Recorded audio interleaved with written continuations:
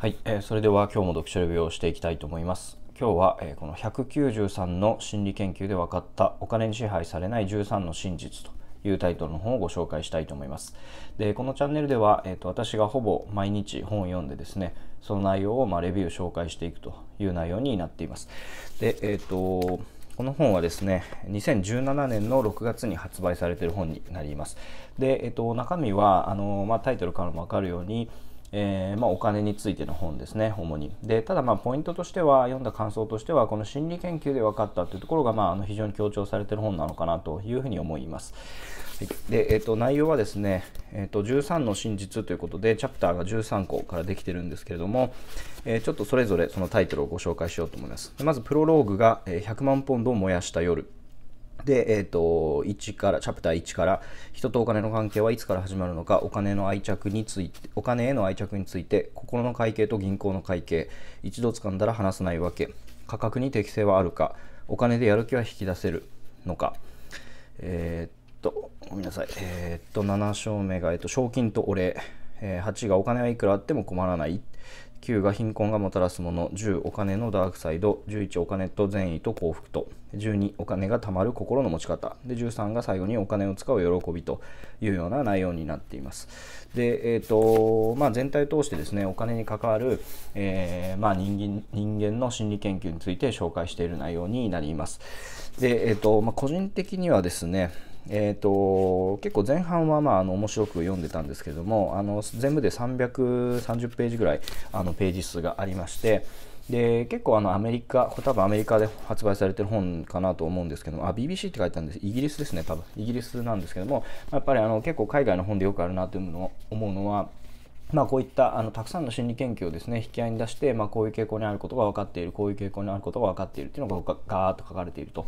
まあ、あのそういった内容だったなという印象です。で、まあ、ちょっとどういうことかというとですねあの全体としてこの筆者の何か言いたいこととかストーリーがあるっていう内容ではなくて、まあ、あくまでその心理研究的にまあこういうことが分かってますと人間にはまあこういう傾向があって、えーまあ、中でもそのお金に関わるそういった心理研究っていうのをまあ紹介してる本なのかなという感想でした。なので、えーと、ちょっとですね最近あの私お金についての勉強の、えー、まああの勉強してまして本であのいろいろご紹介してると思うんですけども、まあ、そういった本とはちょっと内容が違ってですねあのお金というよりはまあ心理学的な側面ですねあの行動心理学的な、えー、内容だったかなというふうに思います。で、まあ、1点だけあの面白かったなと思うその、まあ、研究内容についてご紹介をするんですけれども、えーと、それはアンカリングっていう、えーまあ、効果についてですね。で、まあ、そのアンカリングっていうのはどういうことかっていうと、まあ、アンカーっていうのは、えーと、怒りっていう意味なんですけども、まあ、船をこう、えー、停泊させておくために沈めておく、まあ、引っ掛けておく怒りっていうものがあって、まあ、それを意味するんですけれども、えーとまあ、その心理的にはアンカリングっていう効果があってそれどういうことかっていうと例えばこの本の中で例に挙げられているのは実験参加者に紙の上に指定の長さの線を書いてもらい